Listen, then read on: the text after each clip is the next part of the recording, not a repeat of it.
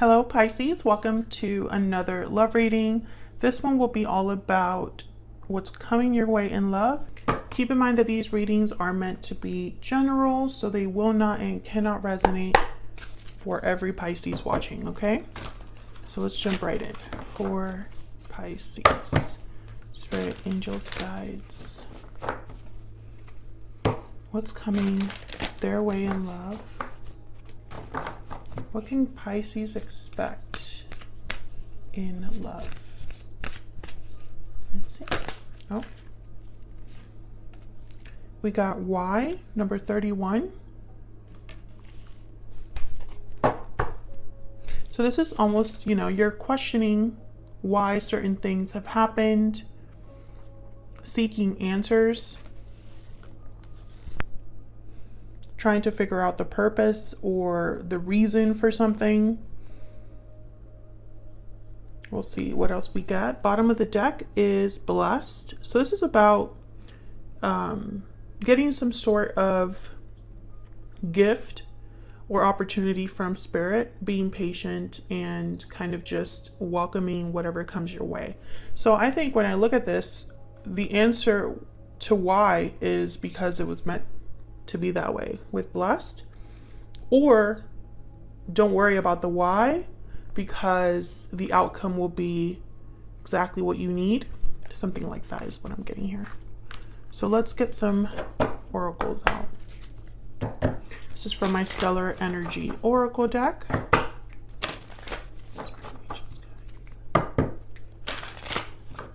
What is coming their way in love for Pisces. What can Pisces expect? Pisces expect? Poetic justice. See, it's like everything that you're receiving or whatever is happening in love for you, I think there's a purpose for it. It's going to come out in your favor. That card also, I'm thinking karma a lot with that card. Looking inward, reflection, solitude, planning. I feel like this is what some of you are doing trying to figure out if everything is going to work out, if this will end up being something that's good for you. Moving forward is at the bottom of the deck. Maybe you're moving into a new cycle here, Pisces.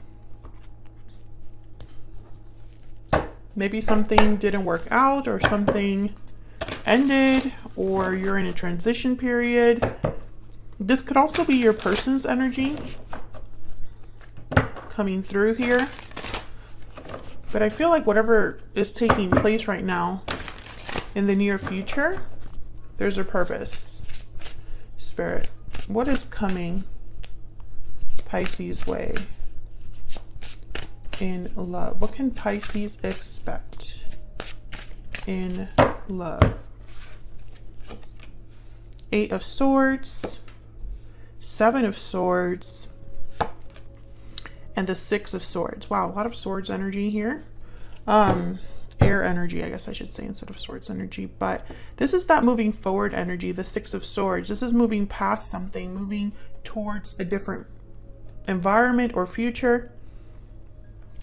Bottom of the deck is the Three of Cups. This is typically a card about coming together, celebrating, reunions, meetings, um, but this Seven of Swords is concerning. I'm not gonna... I feel like there's something that you are thinking about. This could also be your person's energy, you know, because this is what you can expect. But this Eight of Swords is like someone cannot stop thinking about something, is wrapped up in their head, is fearful. That was my dog, Henry, shaking himself in the background. I, don't, I only mention it because people people um in the comments are like, what, what was that weird noise? All right, so let's get some clarity here. Let's see what this is about. Seven of Swords and the Eight of Swords. Together, when I think of these two energies, I think of someone who's scared or anxious about this happening, about deception, someone that is overthinking or thinking too much about someone hiding something or being deceptive. So we'll see if that's the case. So can I get some clarity for Pisces? What's this Eight of Swords about? Why is the Eight of Swords here? For Pisces. Okay. Ten of Cups, Eight of Cups. walking away towards something more fulfilling, walking towards a happy ending. This could also be walking away from a family situation with the Ten of Cups. Sometimes that can be the case. What's at the bottom of the deck? The Empress and the Five of Pentacles. So some sort of loss here, Six of Pentacles, and repairing, rebalancing something that's been lost. I feel like there's something that has already kind of been brewing uh, for you Pisces. I'm speaking to a Pisces that um, either you or the person you're dealing with is afraid of a departure that perhaps was already kind of expected. Can I get one more, please, for this Eight of Swords? Maybe someone's overthinking a departure because the Eight of Cups is walking away and the Six of Swords is also here. The Hierophant, Taurus energy. Now, the Ten of Cups and the Hierophant, I think of marriage, commitments, family units. So I don't know if, you know, it, it could be interpreted in two ways. Either someone is walking away or in a journey with the Eight of Cups towards their Ten of Cups because the Eight of Cups is seeking the Nine of Cups and the Ten of Cups. That's why the Eight of Cups is about walking away towards something more fulfilling, more abundant. So it makes sense that the Eight of Cups will be looking for this Ten of Cups here. But this could also be interpreted as someone that has walked away from this energy. Let's see, let's look at the Seven of Swords. Spirit, why is the Seven of Swords here for Pisces? What can you tell me about this Seven of Swords? The Emperor, Aries energy. Why is the Seven of Swords here? Why is the Seven of Swords here? I don't like the Emperor with the Seven of Swords personally because I don't, yeah, and the Four of Pentacles. I think of an, uh, a masculine energy that is hiding something. And the Four of Pentacles is about holding back, holding on to something. So this could be somebody holding on to a secret or holding back from being honest or open about something. Tell me about the Seven of Swords. And the Emperor is focused on control, balance, making things stable, having everything kind of as it should be. So the Emperor with the Seven of Swords is like a strategy that someone's using here to keep something to themselves. Can I get one more, please? For this Seven of Swords. No. That does not feel right. Why is the Seven of Swords here Pisces? Seven of Cups. Okay, illusions, choices, options. And then there's death, Scorpio energy at the bottom of the deck. So I feel like this is somebody that is um, making choices or evaluating options regarding an ending. And this could be, again, you or the person you're dealing with. I feel like someone, you know, especially the Seven of Cups with the Seven of Swords, um, they're, you know, because the Seven of Swords is about having various options in front of you, but not every option is the best option. And the Seven of Swords tends to be an energy where someone's trying to get away with something um, and their approach is not very ethical. So it can backfire, you know, this approach can backfire. So when I see it with the Seven of Cups, it's almost like someone might be making the wrong choice here, thinking that it's going to be the best choice for them. So I feel like someone is being secretive, deceptive here, holding back. And this might be a mistake now, another way to look at this is that someone is presenting themselves to be a certain cup, you know, because the Seven of Cups is about illusion. Some cups look better than others on the surface. But when you look inside the cup, it's not what you thought. Tell me about this Six of Swords. Why is the Six of Swords here? The Knight of Cups. Why is the Six of Swords here, Spirit? The Sun, okay. Well, this is very different energy here. I want to get one more. Can I get one more, please, for the Six of Swords? Why is the Six of Swords here? Oh, I got two. Queen of Swords and Seven of Pentacles with the Six of Swords again at the bottom of the deck. So when I look, oh, okay, if I could keep my cards to myself. Um, the Seven of Pentacles is a card about waiting for an outcome. You know, you're kind of like you've put in the work, you've put in time and energy into something, you're just not sure if all your hard work is going to pay off. Um, patience also with this card. Queen of Swords, this is air energy again. Uh, Aquarius, Libra, Gemini energy. Um, with Queen of Swords and the Knight of Cups, I'm getting some sort of con uh, conversation or a message, an apology even. But this, you know, I feel like this is different energy. So, despite the fact that the Eight of Cups and the Six of Swords are similar energies to me, because they're both about departures. So there's something here about a departure, leaving a situation, walking away. But here, I feel like this departure is like leading to the sun. And this Eight of Cups is leading to a Ten of Cups. So I'm starting to think that this departure is leading to something good. Despite the fact that someone's worried, anxious, Eight of Swords, Seven of Pentacles.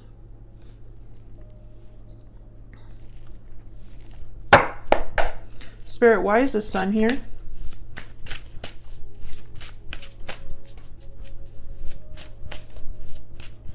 Why is the sun here? I want to clarify the sun because the Queen of Swords with the sun could also be uh, clarity. Tell me about the sun. Justice. Okay, there's justice, Libra energy.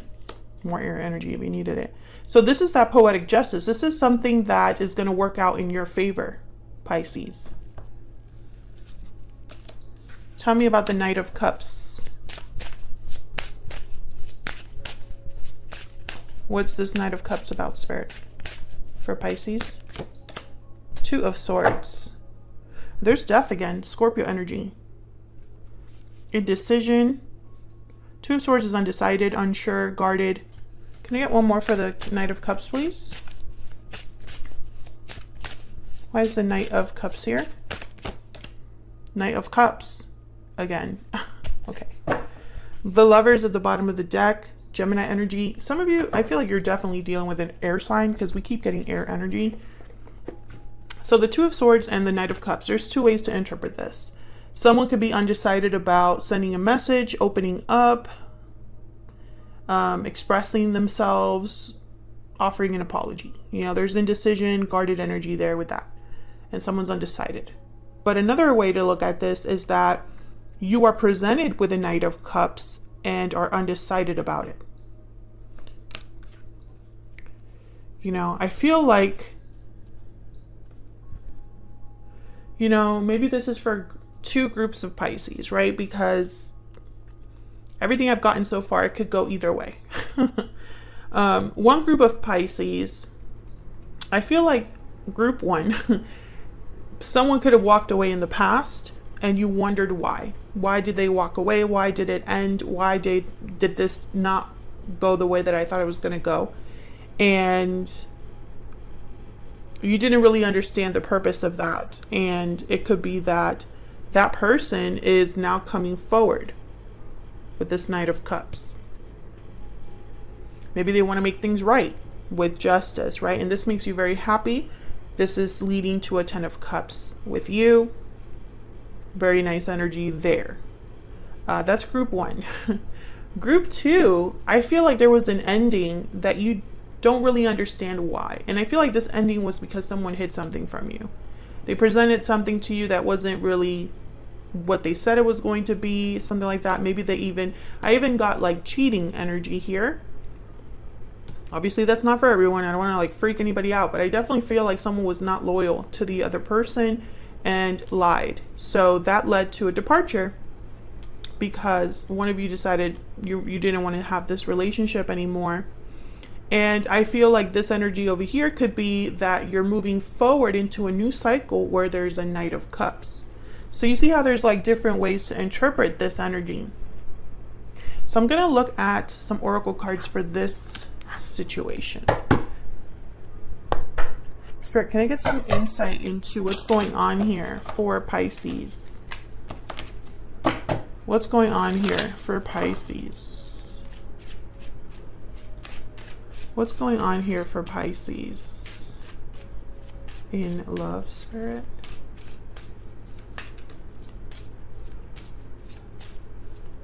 What's going on here for Pisces? Okay, we have wealthy man, so a masculine energy that is doing very well for themselves. And privileged lady, okay, great couple. Um, I feel like there's someone that's admiring the other person here. This wealthy man has his eyes, his or hers, because masculine energy can be female or male, but let's not get into that. This masculine energy is very attracted to this feminine energy here.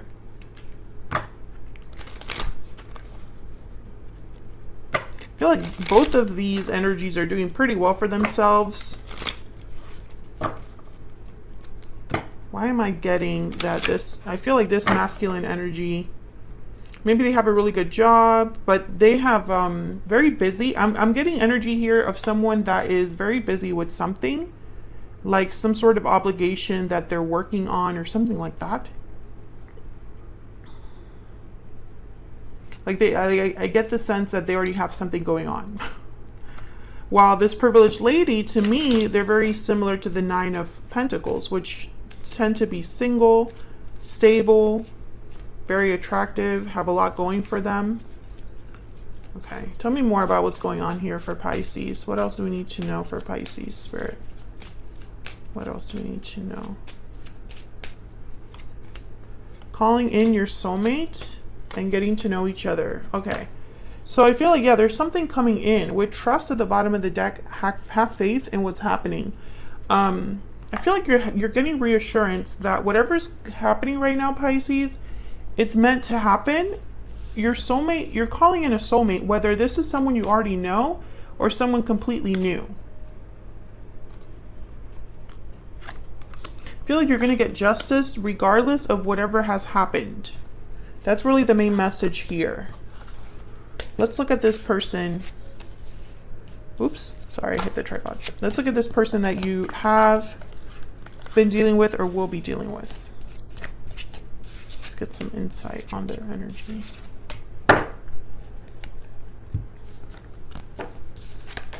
Yeah.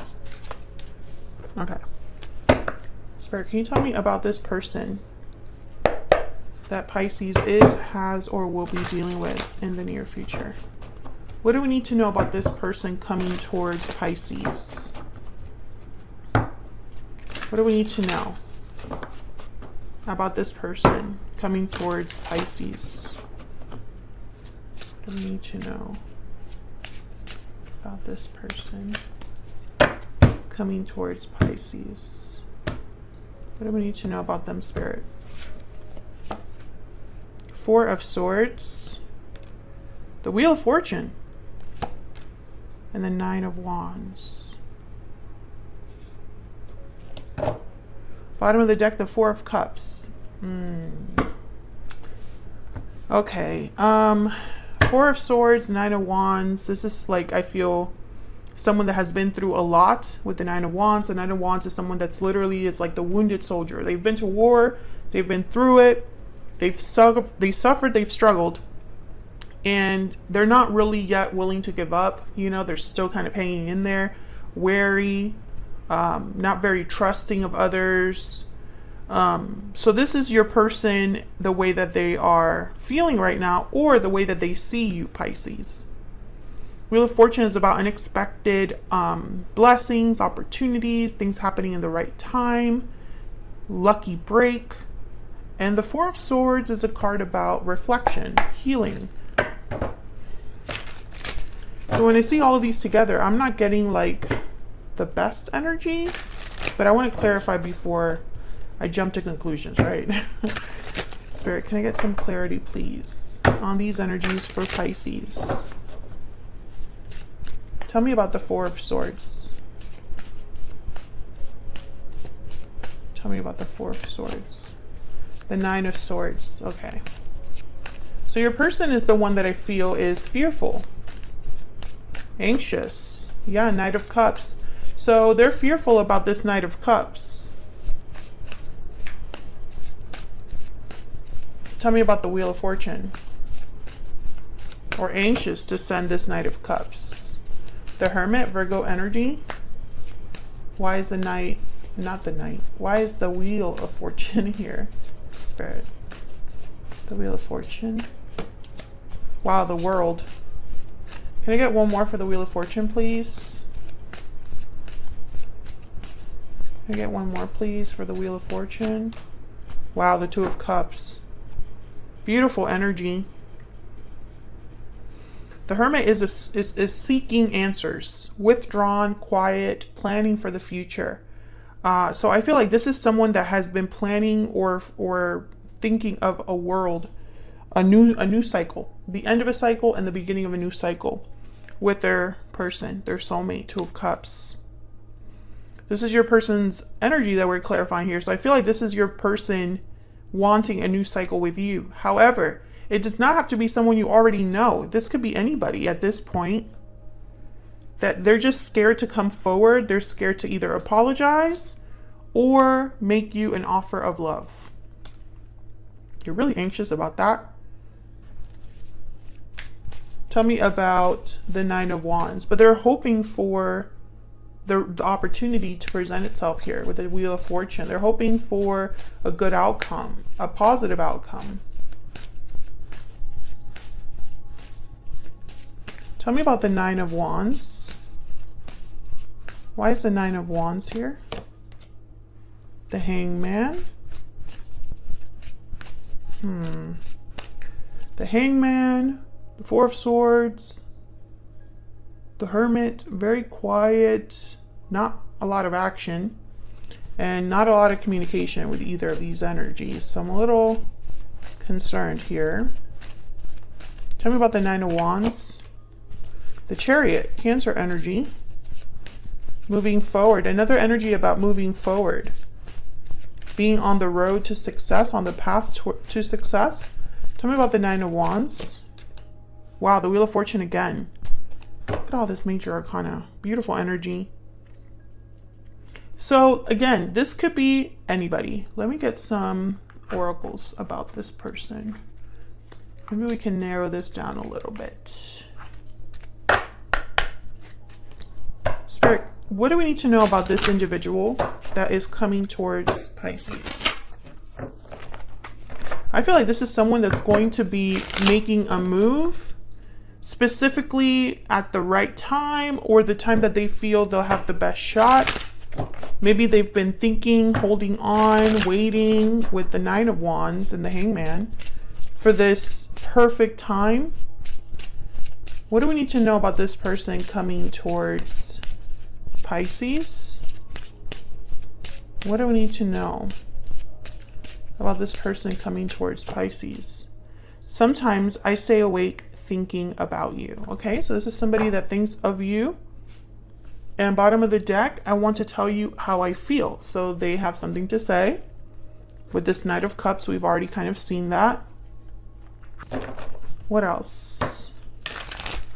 What else do we need to know?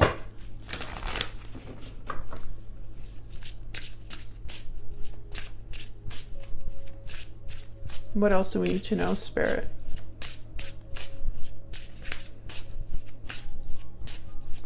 What else do we need to know about this person coming towards Pisces? Definitely feel it's a wow. At night, I think of you. The same energy. Whoever this is, I feel is a soulmate. Bottom of the deck, I'm heartbroken. Hmm and I'm taking action. Wonder why they're sad or disappointed. Again, I feel like Pisces, this could be so many different people, depending on who's watching, right? I feel like whoever this is is is afraid to come forward, afraid to speak up. Um, let's look at what this Knight of Cups might be. We already clarified the Knight of Cups before, so I feel like the there's a decision tied to this Knight of Cups or some sort of hesitation. Tell me about the Knight of Cups, Spirit. Once again, what do we need to know about this Knight of Cups? What do we need to know about this Knight of Cups for Pisces? There's that Two of Wands, so another decision, and then the Ten of Swords. Okay, Pisces, there's two ways you can interpret this. I know it's one of those readings, I'm sorry, but that's just the way that tarot is because I'm reading for a lot of you. Um, the Knight of Cups with the Two of Wands and the Ten of Swords could be that someone is apologizing for a difficult ending, apologizing for some sort of maybe betrayal. The Ten of Swords is feeling kind of betrayed. And the Two of Wands could be that you have a choice in this matter. You could decide to accept this cup or not. Others of you, I feel like this Ten of Swords could have happened outside of you. Like it didn't really need to happen between you and this person. So it didn't really, doesn't necessarily have to be an ending that happened between you. But maybe either of you have gone through some sort of difficulty and you're looking ahead at what direction you want to go in when it comes to love with the Two of Wands. Maybe this person had an ending in their life. Something ended in their life, and now they want to go down a different path here with the Two of Wands and are hoping that their cup is accepted.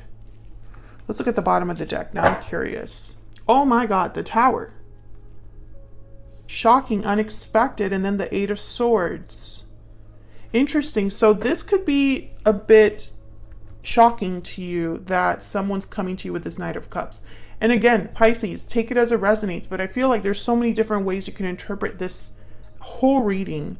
Um, there's definitely something here with a soulmate. We had the lovers, we have the two of cups, and the wheel of fortune has come out twice here. So I feel like there you are calling in a soulmate no matter what has happened to you, no matter what's going on right now in love. I feel like you're calling in a soulmate, someone that wants to tell you how they feel, someone that wants to make a move towards you, and someone that's, you know, hoping for a new cycle here with the world.